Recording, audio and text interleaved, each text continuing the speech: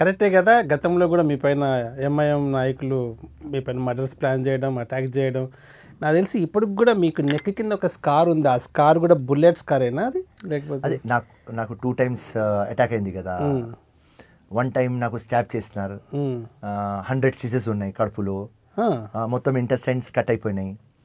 అప్పుడు కూడా dyeing declaration doctor చెప్పినారు చనిపోతా అని. బతికిన. టూ థౌజండ్ సిక్స్లో రాజేంద్ర నగర్ పోలీస్ స్టేషన్లో ఇవాళ ప్రెసెంట్ మా నాంపల్లి ఎమ్మెల్యే ఎవరు ఉన్నాడు జాఫర్ హుసేన్ ఉమ్, అతను వాళ్ళ తమ్ముళ్ళు ముష్తాక్ మేరాజ్ ముంతాజ్.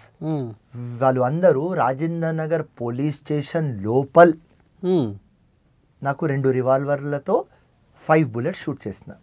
స్టేషన్లోకి దూరి? స్టేషన్లోనే లోపల్. సర్కిల్ ఏసీపీ ముందు. ఆ, సర్కిల్ ఏసీపీ కన్ఫ్యూజన్లో ఉన్నారు. ఆ, సర్కిల్ ఇన్స్పెక్టర్ రాజేంద్ర నగర్ అప్పుడు శ్రీనివాస్ గారు ఉన్నారు. ఆయన నెక్సలైట్ థ్రెట్లో ఉన్నారు.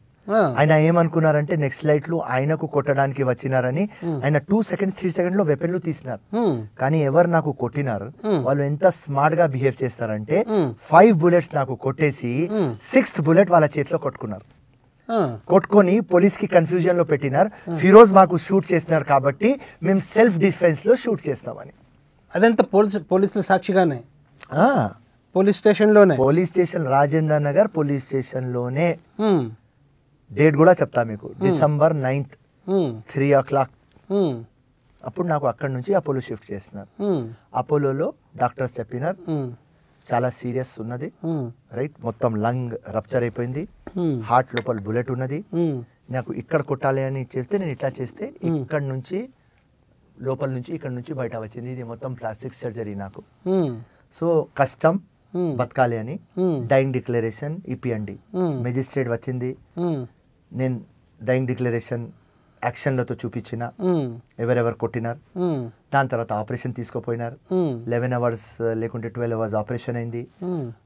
ఫైవ్ డేస్ ఐసీయూ వార్డులో ఉన్నా. ఫైవ్ డేస్ తర్వాత. చూస్తే బతికిన ఇలాంటి ఇంట్రెస్టింగ్ వీడియోస్ కోసం తప్పకుండా మా ఛానల్ని సబ్స్క్రైబ్ చేయండి